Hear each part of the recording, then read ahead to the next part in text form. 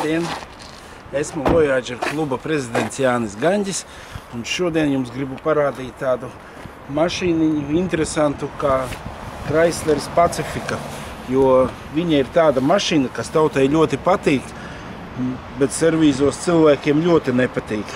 Bet tāpēc es uztaisīšu tādu mazu stāstiņu, lai jūs zinātu, ar ko jums rēķināties, kā braukt un kā nekā jaunā Pacifika, kas ir iznākusi, tā jau ir Chrysler Voyager vietā, tā kā agri vai vēlu mēs visi brauksim ar Pacifikām. Apiesim drusciņu uz riņķīti, durvis ir četras, nekas nav bīdāms, visas ir vienkārši atveramas. Attaisīšu centrālu atslēdziņu vaļā, lai visu mēs varam atvērt. Viņai šitai Pacifikai ir tāpatās sešas vietas, neteikšu, ka aizmugurē ir ļoti ērti, bet sēdēt bērni var. Un tā kā, tā kā ģimeni arī var izbraukāt. Šitai Pacifikai jau mums ir tāda, ko es varu redzēt, lai jūs zinat, kāda kļūs viņa vēlāk. Sēdeklīši ir ielocīti iekšā, negribu es viņus locīt, lai jūs redzētu, bet nu, viņi tāpat smuki izlokās ārā, vai ne? Tie, ja vajadzīgi, arī var pārgulēt. Viss smuki nolokās uz priekšu un sanāk viena liela guļas vieta tāda. Un, protams, viņa nav tik ērta kā Voyagerim, bet pārgulēt var. Šitā Pacifika ir ļoti, ļoti vienkārša. Bagāžnieks pat nevarās ciet, bet viņš aizvērsies. Apiesim pa otru pusīti. Āķīts ir uzstādīts, parktroniki kaut kādi. Riteņi viņi ir tādi kā jaunajam Voyagerim. 16 un 17 nāk bāzē, vai ne? Un skrūju vietas ar veco Voyageru tāpat ir atšķirīgas, nav vienādas. Kā džips mēdz būt gaviņas pilnpiedziņas, mēdz būt parastās ar priekšas piedziņu, vai ne? Kapots ir alumīnija, bet tāpatās jau ir alumīnijas uzburbis, vai ne? Un, un, un, un, un, bet nu, katrā ziņā caurumi neizrūsē. Es domāju, no ārpuses daudz neko par viņu nestāstīšu. Kāpsim iekšā un pamēģināsim gaitā. Drusciņi izstāstīšu pa salonu un tad jau celsim augšā uz pacēlāju un skatīsimies, kas lācītim vēderā. Pagaidām. Esam mēs saloniņā. Izstāstīšu apmēram, protams, pirmais, ko jūs ieslēdziet aizdedzīti un galvenais skatieties, lai būtu eļas spiedina lampiņa, motoru kļūdiņas, airbags te noteikti, ka nedeg lampiņa vai ne, bet to pievēršat uzmanību. Tātad, lai airbags būtu, lai degtu visa elektronika. Pievērsiet uzmanību arī šitien ir tāds kā lodziņš, Viņam ir jārāda patēriņu un šeit ar visu regulēties. Tas lodziņš viņiem ir arī slimība, ka nerāda. Citi saka, ka vat nerāda, bet nu, lodziņā vienmēr jābūt ir patēriņam, ir jārāda temperatūra. Tas, tas ar Pacifikai ir tāda kā maz neliela slimībiņa. Sēdekļu regulācija viņiem ir ļoti, ļoti ērta. Katrā ziņā šitien piedzenās viss un pedālīšus arī to augstāk, zemāk, ja ar papēžiem brauc logu regulācija. Tā viss tas ir ļoti gudri iztaisīts. No apsildes viedokļa. Tāpat viņam ir divas apkuras pečkiņas, kas ir viena regulējās aizmugurē, kur motoriņš ir šitien. Vienai Pacifikai man bija, ka skaņa nāca no motoriņa šeit. Un, un, un, un, un, un šitien dotajam modelītim ir klimata kontrole, var tu regulēt grādus, cik un kā vai ne. Ja tu neaizties, tad viņš āras temperatūru šeit rāda. Tas viss ir izdomāts ļoti gudri un ļoti patīkami. Citām pacifikām nāk lūciņas, DVD iekšā. Šitai ļoti modelītim tas mums nav, vai ne? Ir vēl plikākas pacifikas, kur ir pat parastās pečkiņas ar roku regulējamas, bet ar nekāda vaina.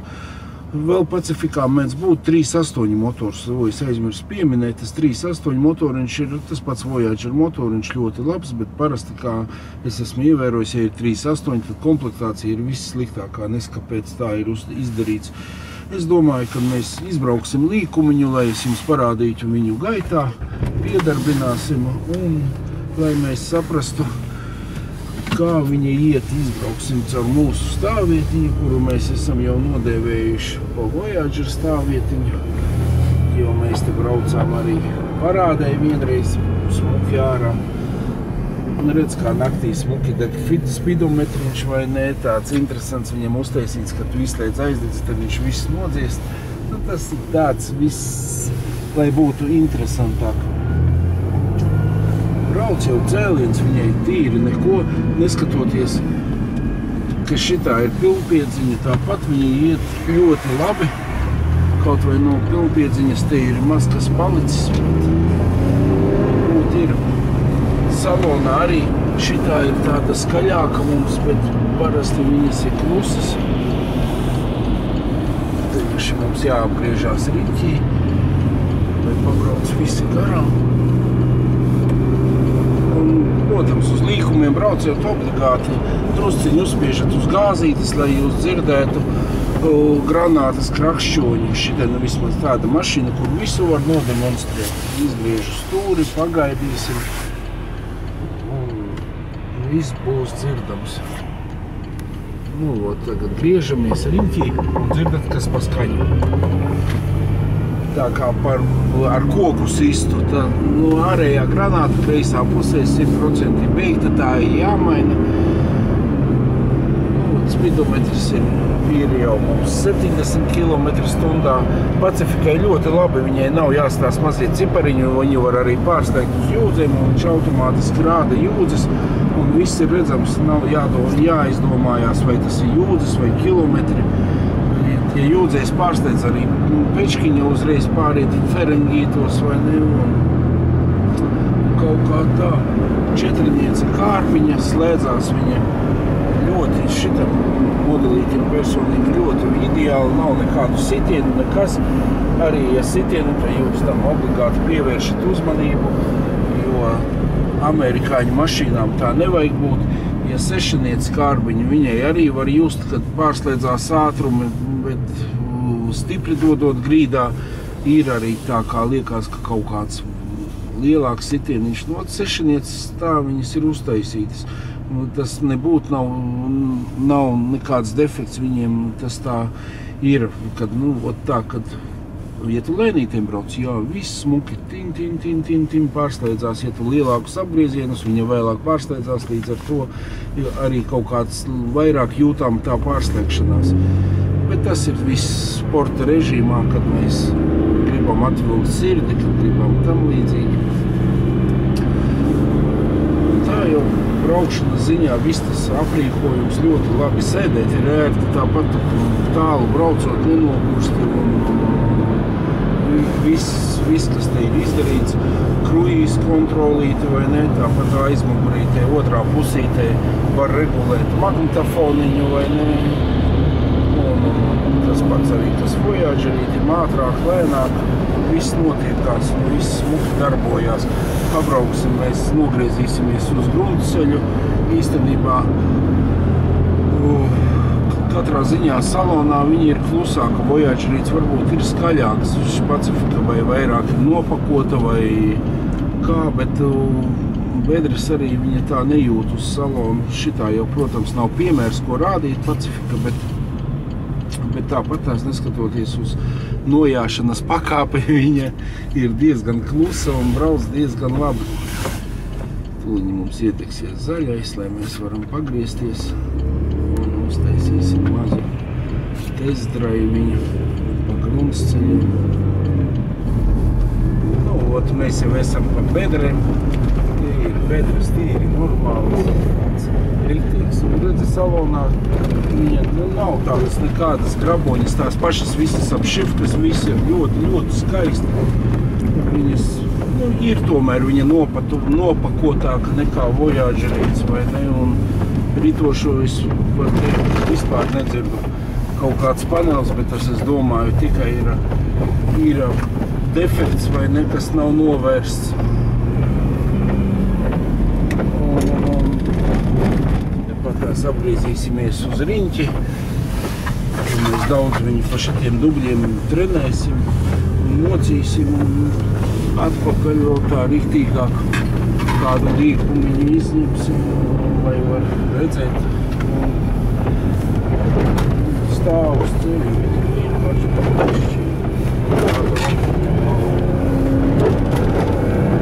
Riktīgi iešmīcot arī var atvērt dušu, viss tā kā vajadzīgs.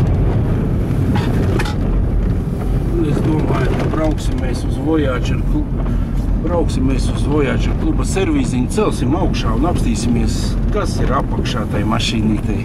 Pagaidām, paldies! Esam Voyager kluba servīziņā. Mašīnīti uzliku uz pacēlāju, attaisīšu motoru pārsegu, izstāstīšu, izstāstīšu par šito te Pacifikai vēl nevar pierast, kurā vietā tā bija jārausta. Reku tepat tās viņš ir karš. Gribās ātri, nekad ātri nesanāk. Uzreiz viņai vienkārši vāciņš noņemās nost, lai jūs varat redzēt.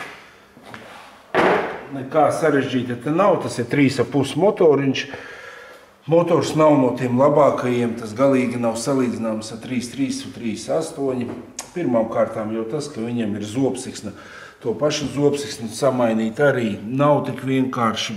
Tāpat tās motors katrā ziņā nav jāceļ ārā, pie visa no sāna var tikt ārā, bet tas jādara regulāri katrus 90, 80 tūkstošus vai ne.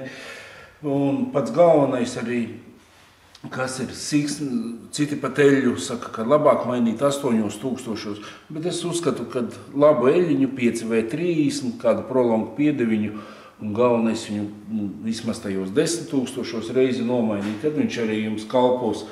Tāpat tās arī viņam ir diezgan sarežģīti, lai, pies, lai sveces nomainītu, vai ne, nu, visur viņam ir grūti tik klāt. Pie kā tu skaries, tas pats starters, tas pats viss, viss ir grūti pieejams.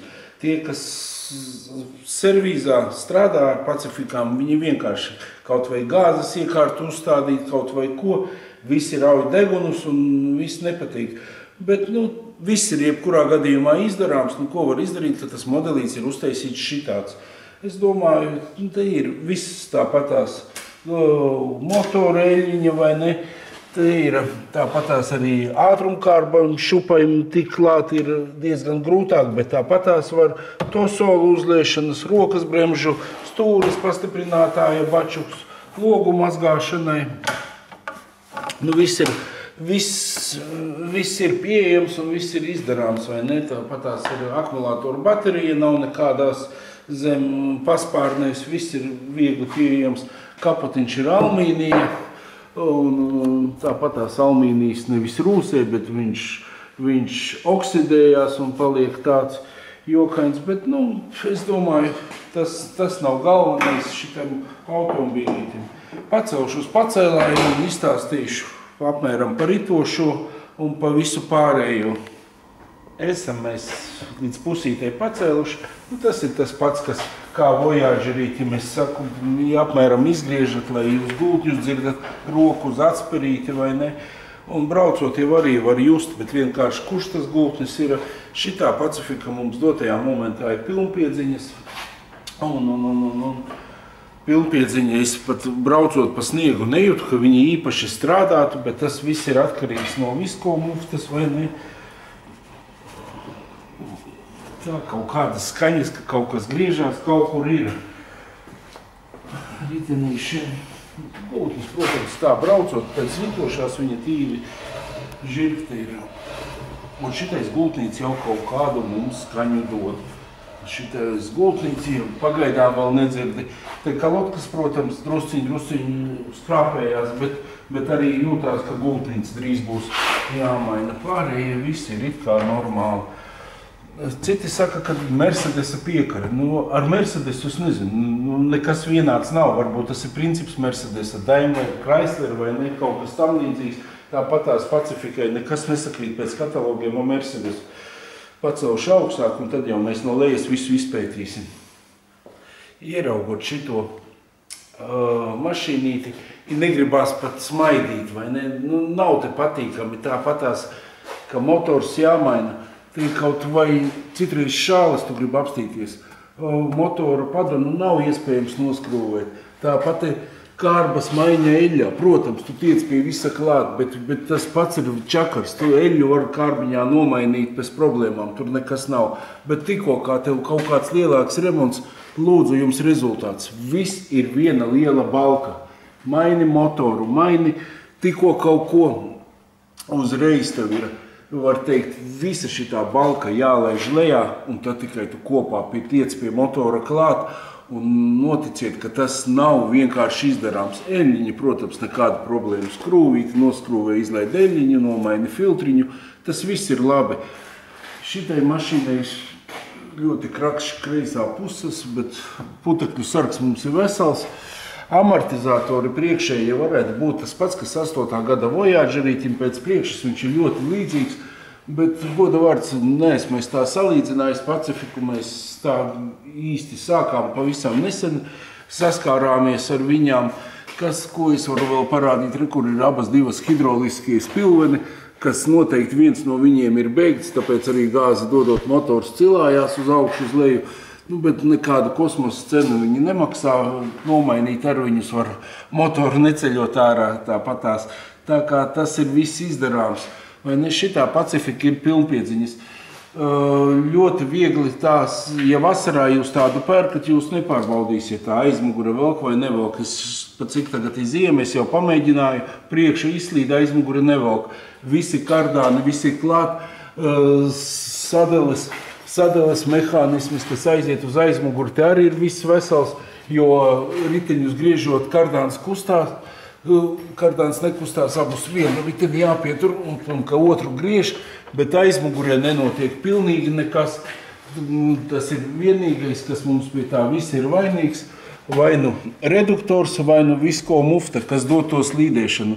Visko muftu arī ļoti var sačakarēt, pieņemsim tādā veidā, ja tu priekšu pacel, ot Amerikā tas ir pieņemts, kad viņi uh, priekšu paceļ augšā un aizmuguri velk, un tad visko mufta ir vienā vienā dilumā, un viņa izdils tā, ka viņai jau vairāk nav nekāda spēka. Ne?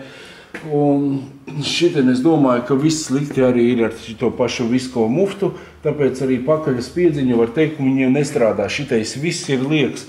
Jāņem vecajam vojažerītim bija daudz, daudz gudrāk uztaisīts. Viņam uh, tas viss bija mehāniski un nekad nebija problēmas. Nu, bet Kā jau zinām, jo mašīnas ir jaunākas, jo lielākas mums ir problēmas, viss ir sarežģītāk un, kā tautā saka, uztaisītas vienreizējas. Tāpat arī Pacifikai aizmugurē amortizatori. Viņi ir tādi paši, tipa, uztaisīti uz tāda paša principa kā Voyagerim resnē amortizatori. Viss ok, viņi, viņi strādā ilgi, iet reti, kad viņi noklājās. Viņi ir labi amortizatori, bet ja noklājās, tad tas ir diezgan dārgs pasākums. Un šīs pašas, šitais jau saprotu, izskatās viss pēc Mercedesa. viens, divi, trīs. Trīs ričagi, kas ar buksēm vai ne ir. Nu, kaut vai šī mašīna ir jāta, ne pa jokam. Visas tās bukses izskatās ļoti labas un ļoti skaistas. Tā kā tas viss tur un viss strādā, vai ne? Tāpat ir atsaita stabilizatori, pilnīgi neatkarīgā piekara, vai ne? Nu, es nezinu. Varbūt tas ir ļoti labi un ļoti krūta, bet nu, katrā ziņā es domāju, ka Voyagerīts uz ceļa stabilāk stāv ne, nekā ar parasto piekari, nekā ar šito te. Tāpat arī jaunajam Voyagerim ir, ir nav neatkarīgā piekare vai ne. Viņam ir atspēres, parasti amortizatori, restos var likt parastos. Un, un, un, un viss strādā, un viss ir kārtībā. Nu, bet kāda viņi ir uztaisīta, tāda viņi ir uztaisīta. Lai tā arī būtu, tam mēs nepievērsīsim vairāk uzmanību. Katrā ziņā bremžu diski te jau normāli uztaisīti, viņi regulējās labi. Nav katrā ziņā iepriekšējo gadu Voyageriem tie ir daudz sliktāki. Sliekšņi parasti šitien izpūstu Voyageriem. Te jau viņi ir teikt, saimnieks teica, kad ir no, no ņirža veikas uztaisīti no nerūšējošā tērauda. Nu, vai tas ir vajadzīgs priekš šitās mašīnas. Es domāju, ka viņi tāpatās vairs nekāda ilgdzīvotāja nav. Un kāda gredzene karājās, re, kur arī muftiņa, tāpēc viņa mums tāda paskaļāka ir izjukusi. Un, un, un, un pa priekšu, ko es vēl varu izstāstīt, pa priekšu Nu, nu, tad arī. Nekas jau tas sarežģīts nav. Tāpat tās nu, atbalsts, lotbalsts vai ne. Zaldātiņi ir vienādi ar Voyageru. Un, un, un, un, un, un, un nekā sarežģīta. Šitās bukses arī plaukta bukses ir ļoti stipras, nekad viņas tā neizdilst. Protams, kad ir gadījumi, bet arī nomainīt nav nekādas problēmas.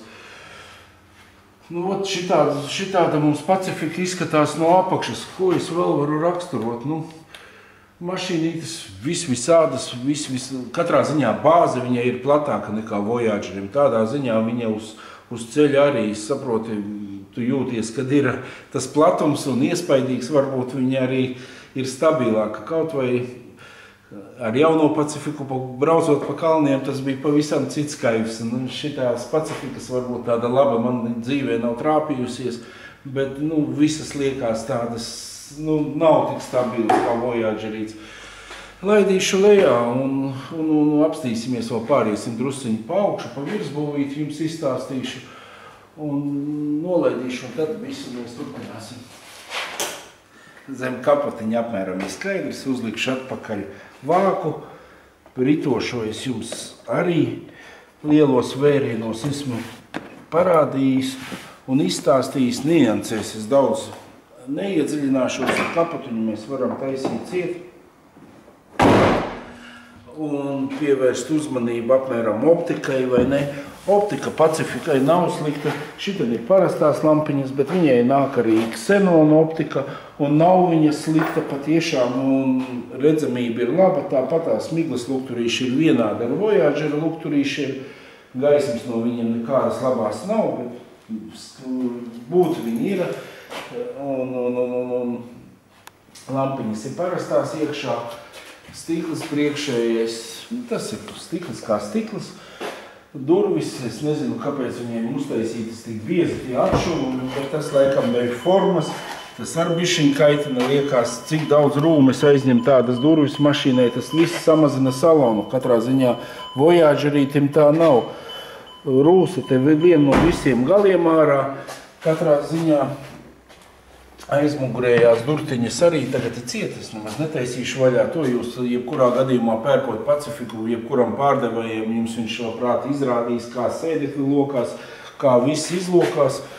Lukturīši aizmugurējiem arī ir tādi paši principā Pacifika no 2000 no nākošās modelīša, kam 4 litru motors atšķirās ar to, ka šitai ir viens izpūtēji, šitam divi izpūtēji, un tāpat priekšējā optika viņiem tāpat kā jaunākajiem Voyageriem apakšā ir riņķīts, un kapocē jau ar tādām strīpiņām. Bet tā principāli no ārpuses vizuāli ne, ne ar ko viņa neatšķirās.